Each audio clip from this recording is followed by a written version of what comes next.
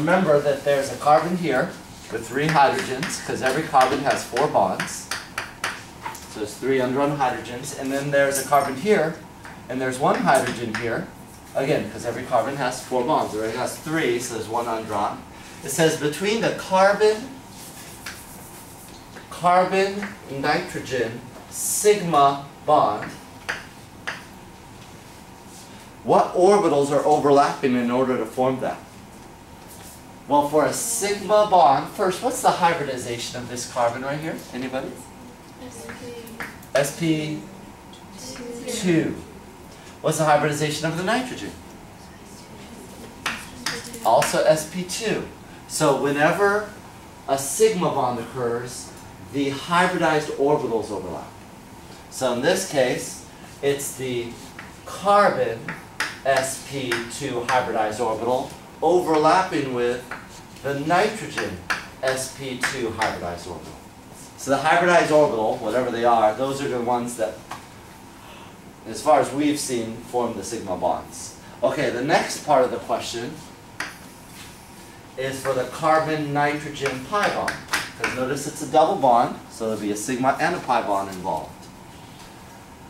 Uh, does anybody remember what orbitals form the pi bond? Yeah, the two p's. So the two p from the carbon bonding to the two p from the nitrogen.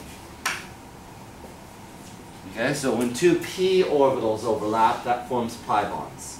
Again, hybridized orbitals form sigmas, two p orbitals form pi bonds. The last question is for the OH bond, uh, OH sigma bond. So that's this one right here. There's a single bond in between it.